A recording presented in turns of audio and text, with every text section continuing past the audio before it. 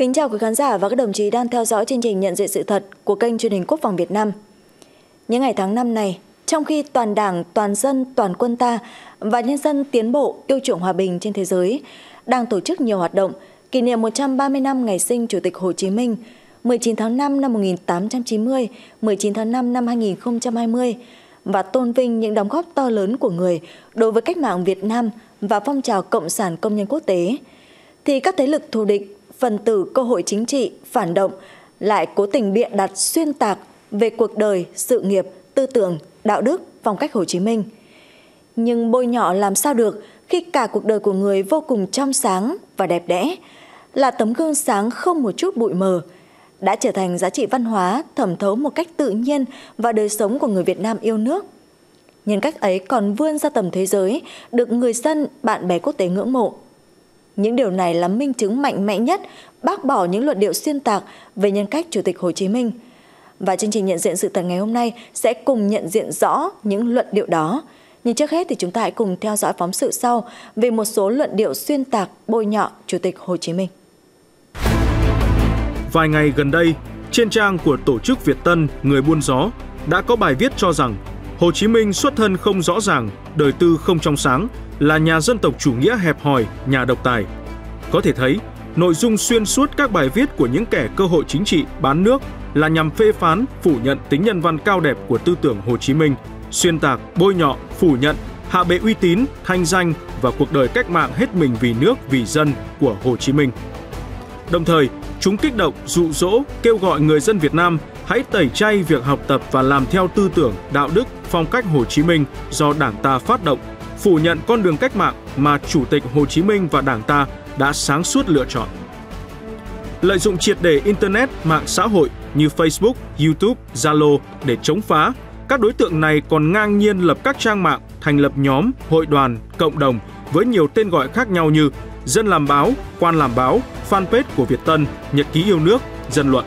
Đồng thời cấu kết với các đài truyền hình phát thanh tiếng Việt có tư tưởng chống cộng cực đoan ở nước ngoài để đăng tải các bài viết, bình luận xuyên tạc, kích động bôi nhọ Chủ tịch Hồ Chí Minh. Những luận điệu bịa đặt vu khống trên đã gây bức xúc cho người đọc, người nghe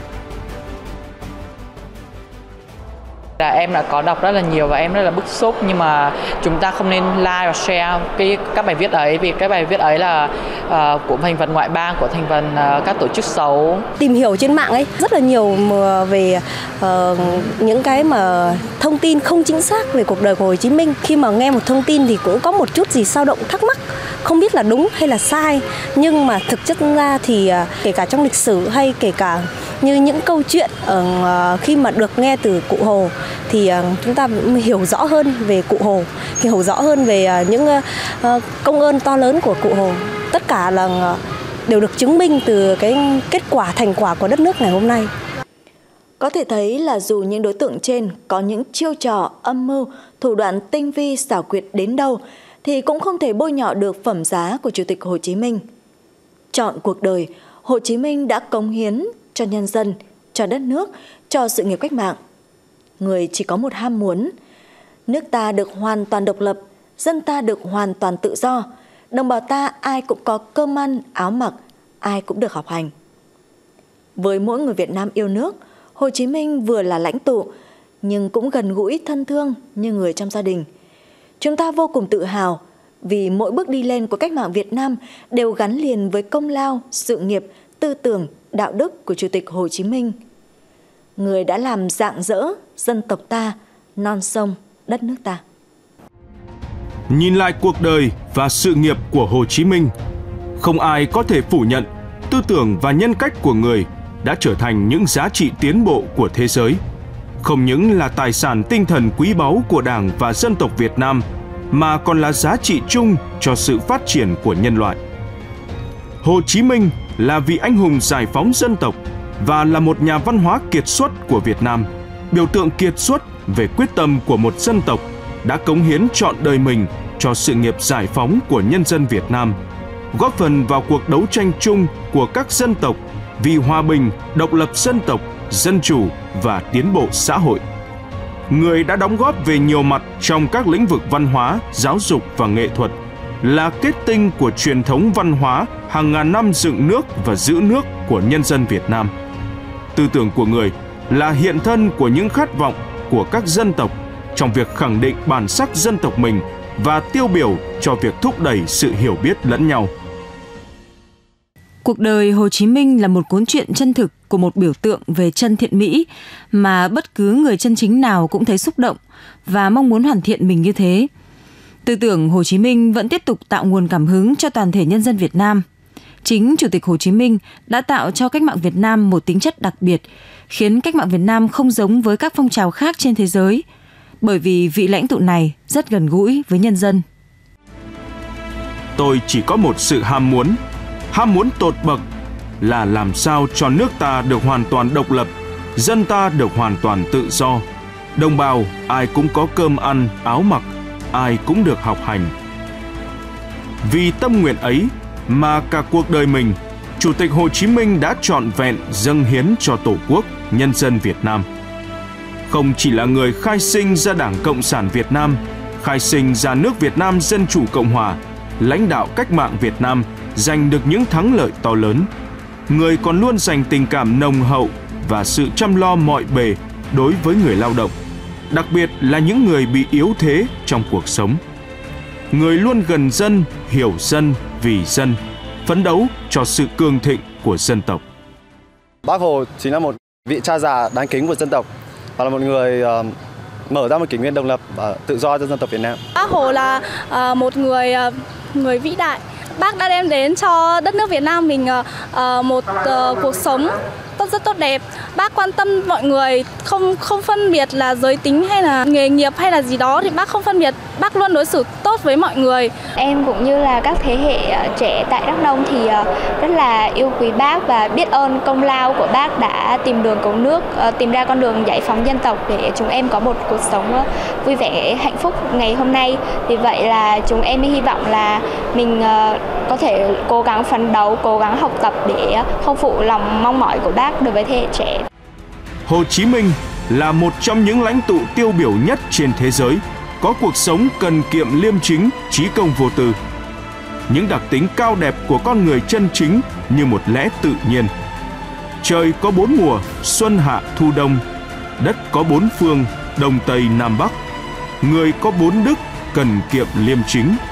Thiếu một mùa thì không thành trời, thiếu một phương thì không thành đất, thiếu một đức thì không thành người. Không chỉ người dân Việt Nam tin yêu kính trọng, mà nhân dân yêu chuộng hòa bình và tiến bộ trên thế giới, vô cùng kính phục, ngưỡng mộ và dành cho người tình cảm sâu đậm. Năm 1987, Tổ chức Giáo dục, Khoa học và Văn hóa Liên Hợp Quốc UNESCO thông qua nghị quyết 24C 18.65 về kỷ niệm 100 năm ngày sinh Chủ tịch Hồ Chí Minh đã tôn vinh người là anh hùng giải phóng dân tộc và danh nhân văn hóa kiệt xuất của Việt Nam. Nghị quyết ghi rõ, Chủ tịch Hồ Chí Minh là một biểu tượng xuất sắc về sự tự khẳng định dân tộc, đã cống hiến trọn đời mình cho sự nghiệp giải phóng dân tộc của nhân dân Việt Nam, góp phần vào cuộc đấu tranh chung của các dân tộc vì hòa bình, độc lập dân tộc, dân chủ và tiến bộ xã hội. Những đóng góp quan trọng và nhiều mặt của Chủ tịch Hồ Chí Minh trên các lĩnh vực văn hóa, giáo dục và nghệ thuật chính là sự kết tinh của truyền thống văn hóa hàng nghìn năm của dân tộc Việt Nam – và để cùng tìm hiểu về những lý do mà UNESCO tôn vinh người, phóng viên truyền hình quốc phòng Việt Nam đã có cuộc trao đổi với ông Michael Kropp, trưởng đại diện UNESCO tại Việt Nam. Hello, sir. Xin chào ông. Cảm ơn ông đã dành thời gian cho chúng tôi ngày hôm nay. Xin ông cho biết tại sao nghị quyết số 24C1865 của UNESCO lại tôn vinh Chủ tịch Hồ Chí Minh là anh hùng giải phóng dân tộc, danh nhân văn hóa kiệt xuất. The, the resolution speaks Nghị quyết này khẳng định Chủ tịch Hồ Chí Minh là biểu tượng nổi bật cho ý chí của toàn dân tộc. Nghị quyết nêu rõ Hồ Chí Minh là đại diện cho khát vọng độc lập tự do của dân tộc Việt Nam trên trường quốc tế. Hồ Chí Minh hiểu rõ rằng văn hóa nền tảng để định hình một dân tộc và văn hóa cần được sử dụng để thực hiện hóa khát vọng độc lập tự do.